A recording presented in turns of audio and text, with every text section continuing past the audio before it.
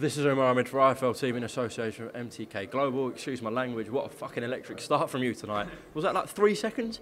Five seconds. Five seconds, yeah. Yeah, just talk me through that first round and, and then five seconds. Uh, was the game plan just to jump on him straight away? No, Joe did tell me put the right hand on him early. Um, nobody really expects big right hand in the face straight away, do they? It's, it's usually come out, jab, move around, touch, touch. So I just thought I'd give him a surprise.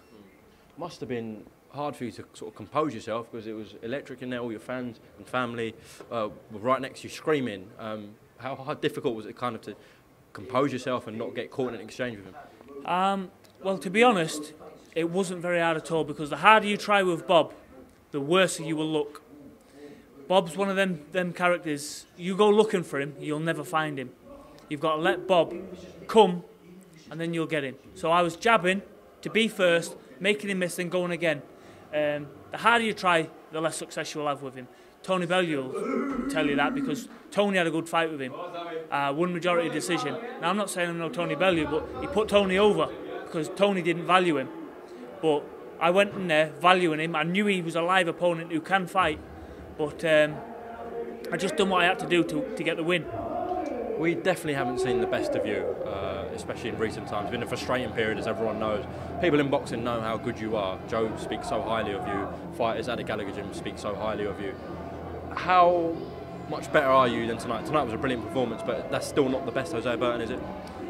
I don't know how good I am. It's, it's up to me fist to do the talking. You know, get me in another fight and I'll show you. You know, I might I might do a little bit better than that. Um, but I do believe the better opponent, the better I come. Um, it's been a long time. It's been three years out the ring. Not out the ring, but out of decent fights. You know. Um, was motivation a problem, like training for them sort of fights?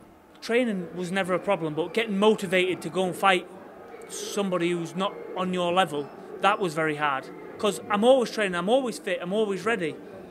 It's just getting motivated to fight somebody that you know you can beat, even if you was dragged out the pub. You know, that, that's the kind of thing it was. In many people's eyes, you've just beaten the second best fighter in that tournament, so everyone is kind of expecting you to win this tournament. Uh, is that how you see it as well, Hosea? From the very start, no one wanted to pick me. No one wanted to pick Bob.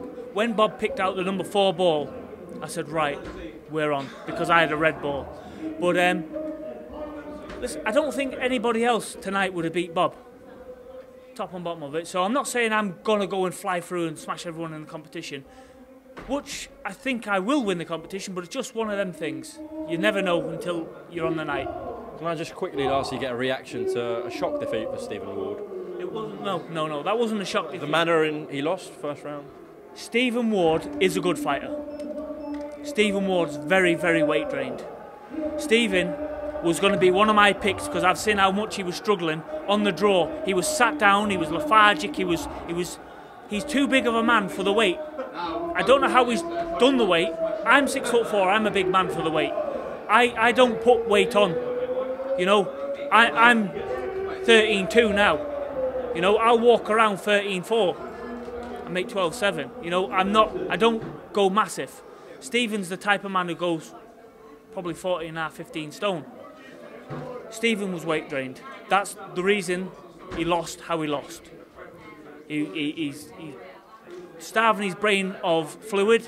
That's why he's got hit high. His legs went. That's the top and bottom of it. Right, Hosea Burton, well done tonight on a brilliant performance against Bob Ajisafe. Uh, have a nice Christmas, and I'll see you in the new year, all right? Thank you, I'll see you soon. God bless you, Hosea, thank you. Special. Absolute dynamite. Oh,